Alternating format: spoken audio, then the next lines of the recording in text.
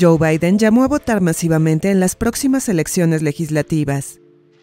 El presidente estadounidense pidió el viernes a todos los electores, y sobre todo a las mujeres, que acudan a las urnas en las votaciones de medio mandato para contrarrestar a una Corte Suprema que consideró fuera de control luego de pronunciarse en contra del derecho al aborto reconocido desde 1973.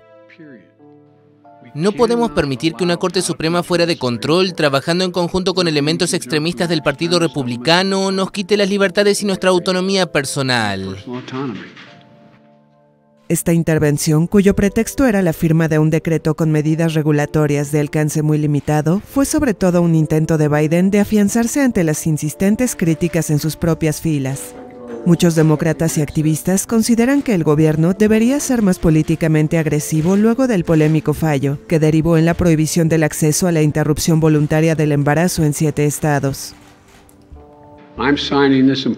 Estoy firmando esta importante orden ejecutiva, le estoy pidiendo al Departamento de Justicia, al igual que lo hicieron en la era de los derechos civiles, que haga algo, que haga todo lo que pueda para proteger a estas mujeres que buscan invocar sus derechos. En estados donde las clínicas siguen abiertas para protegerlas de la intimidación, para proteger el derecho de las mujeres a viajar desde un estado que prohíbe buscar la atención médica que necesita a un estado que brinda esa atención.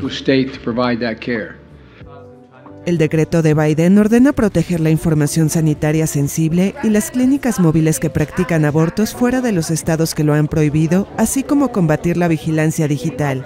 También intenta garantizar el acceso a la anticoncepción, sobre todo la píldora del día después y el dispositivo intrauterino DIU.